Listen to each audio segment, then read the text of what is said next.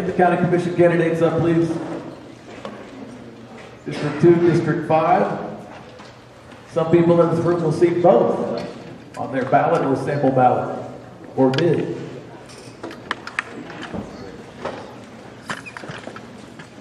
If I could get uh, Jody Hall and Scotty Orenstein on one end, the other three.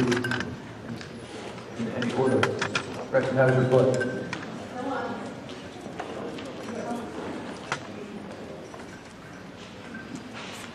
No problem. For District Two, you'll be hearing from Jody Hall and Scotty Orenstein. For District Five, Clay Griner, Gretchen Quarterman, and Norman Bennett, for one special election on partisan.